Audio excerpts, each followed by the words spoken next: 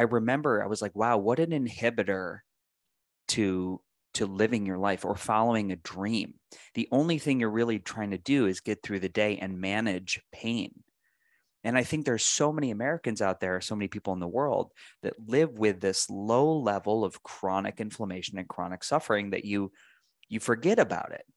And so to get out of that, it's it really is like, man, what a gift. I don't I think mm-hmm. there's like it's just you know that's again that's why i'm so excited about some of these new discoveries about what hydrogen and electronically expanded water does in the body. Yes exactly. Yeah.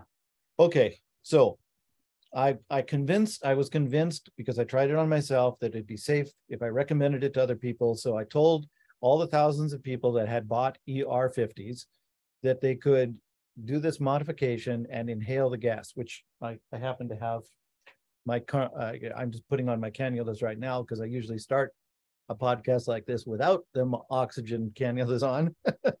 now I'm inhaling the Brown's gas. So in any case, the uh, I was doing it myself, so I could I could recommend it to people, and I would know that they they weren't going to have explosions in their lungs or any other negative side effects. In fact, there's been over 2,000 studies now of various hydrogen uh, uh, mitigating ailments and studies of studies, and they are universally zero negative side effects. There are side effects, but it's usually something else being healed than what the, the ailment they were going after. The, the, the ailment they're going after gets better, but other things get better as well. So it was, yeah. it was very interesting. Okay. About three months after I started I told these people what they could do to modify their ER50s, and I continued to sell ER50s, but now with this modification on. So they've got the four protocols where you could inhale the gas, you could put the gas on the skin, you could drink the water, or you could put the water on the skin. A woman got back in touch with me and and told me without knowing that my late wife had lupus, because at this point I hadn't told anybody about that. She she said that she had lupus symptoms, and in three weeks' time they were gone. Mm.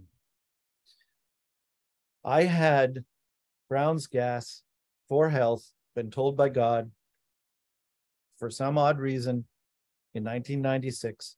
Didn't try it myself in two, 2005, but I had Brown's gas since 1986, but known about health purposes since 1996. And of all the things that I tried with my late wife, And I was $300,000 in debt, by the way, at that particular point in, in March of 2016. We were, we, we'd spent money on all kinds of, all kinds of things, anything we could find to try to help this woman get healthy. To the day she died, I was doing my best to help her get healthy. She'd even, as, as she laid there in bed, she even begged me a couple of times to say, to let her, to, to let her go because, because she could see how it was affecting me and she was just that kind of person. But i couldn't and i didn't. And uh, so when this woman told me that she had had lupus and it was gone in three weeks time i remembered the almost decade that i had fought we had fought and i had brown's gas and never thought to give her brown's gas. And that literally literally laid me out on the floor.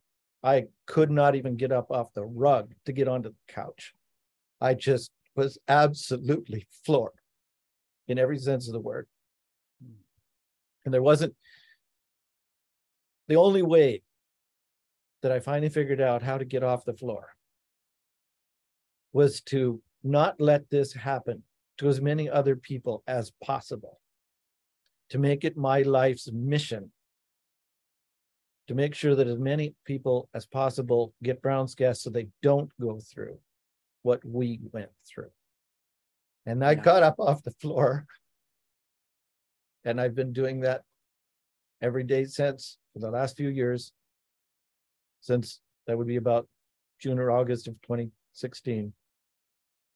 Getting up at as early as three o'clock in the morning, working as late as eight o'clock every day, seven days a week. I've been doing this because I have to.